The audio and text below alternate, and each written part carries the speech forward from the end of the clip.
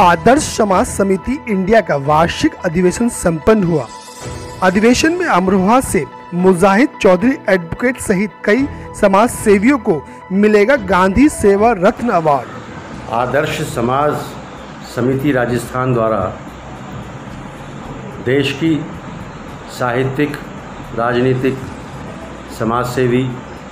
शिक्षा के क्षेत्र में, पर्यावरण के क्षेत्र में, मानवाधिकार के क्षेत्र में काम करने वाले समाज सेवियों को सम्मानित करने का निर्णय लिया गया है। आदरणीय धर्मपाल गांधी जी की अध्यक्षता में संपन्न बैठक में राजस्थान में उत्तर प्रदेश जनपद अमरोहा से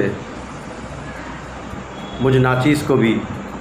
गांधी रत्न अवार्ड देने का फैसला हुआ है। मैं इसका स्वागत करता हूँ और आदर्श समाज समिति का शुक्रिया अदा करता हूँ। साथ ही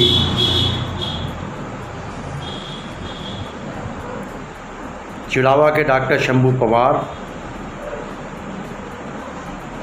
साहित्य के क्षेत्र में विशेष योगदान देने पर श्रीमती हिमाद्री वर्मा जयपुर, हेमलता वाजपेयी सीतापुर से शिक्षा के क्षेत्र में, लखनऊ से एडवोकेट अनुजा मिश्रा को शिक्षा, समाज सेवा और साहित्य के क्षेत्र में झुंझुनू राजस्थान से जगदीश प्रसाद मेहरानिया, महबूब चौहान, शीशराम सिलोलिया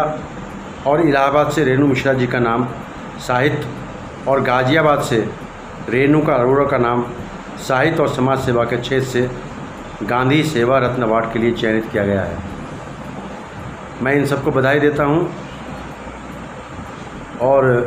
बताना चाहता हूँ कि श्री धर्मपाल गांधी जी के अनुसार 2 अक्टूबर 2020 को आयोजित अंतर्राष्ट्रीय अहिंसा दिवस पर